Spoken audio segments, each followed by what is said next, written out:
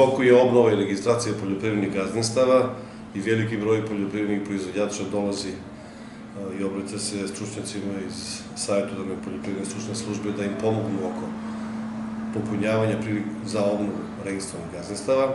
Naravno, izašlo je i veliki broj uredbi o ovaj, pomoći poljoprivrednim proizvođačima i subvencijama, tako da dolaze ljudi, interesuje se za te nacionalne mere i uh, savjetodavci, a i ostali zaposleni u, u poljoprivrednoj stručnoj službi pomožu kako bi da kažem, popunili sve one obrazci i obezbedili potrebnu papirologiju koja je potrebna za konkurisanje.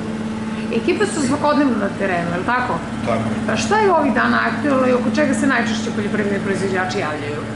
Pa, poljoprivredni proizvođači ovih dana najviše interesuje rezidba voća, ovaj, izlazak na teren i tretivanje da li su im voćnjaci izmrzli, interesuje se oko ovaj, analize zemljišta, da li će ove godine biti, da li ćemo uzimati uzorke, na koliko uzoraka imaju pravo pojedini proizvođači. E, javljaju se ljudi koji su zainteresovani da podižu nove zasade, žele da ovaj, savetodavci izađu da im daju preporuku da li je ta parcela odgovarajuća ili nije.